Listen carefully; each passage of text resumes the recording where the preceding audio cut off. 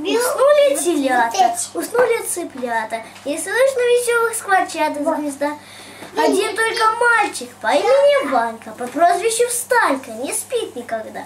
У Ваньки у Встаньки несчастные няньки, начнут они Ваньку укладывать спать, а Ванька не хочет, приляжет и скочит, приля... уляжет снова и вскочит опять. Укроет его одеялом на вате, возьми одеяло одной стом прочь, и снова, как прежде, стоит на кровати, стоит на кровати ребенок всю ночь. Лечил его доктор из детской больницы. Больному сказал он такие слова. Тебе, дорогой, потому лежится, что слишком легка у тебя голова.